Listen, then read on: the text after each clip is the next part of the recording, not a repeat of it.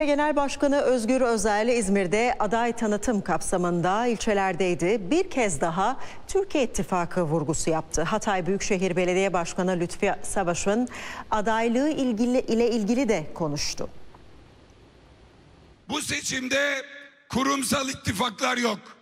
İstedik, gayret ettik ama başarılı olamadık.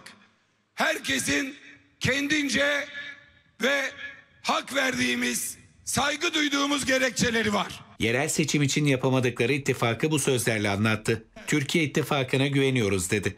CHP Genel Başkanı Özgür Özel İzmir'de ilçeleri gezdi.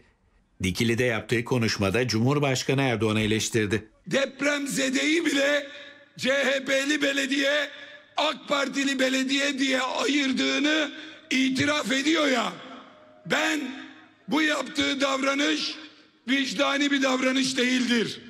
Kalbinin yerinde taş vardır. Özel gazetecilerin sorularını da yanıtladı. Aday belirleme sürecinde yapay zekadan faydalandıklarını anlattı. Bundan sonra zaten artık yapay zeka hayatımızın her yerinde var.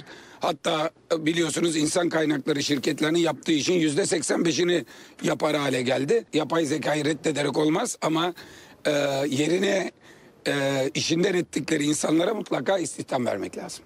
Özgür Özel'e Hatay Büyükşehir Belediye Başkanı Lütfü Savaş'ın adaylığı da soruldu. Lütfi Savaş'tan daha beğenilen bir alternatif ürettiğimiz anda Lütfi Savaş da zaten buna hayır demiyor. Ancak şu ana kadar yaptığımız bütün ölçümlerde bizim Hataylılar için Lütfi Savaş'a bir alternatif geliştiremedik. Bu konuda gerçekten çaba içindeyiz. Son kararı partimiz verecek.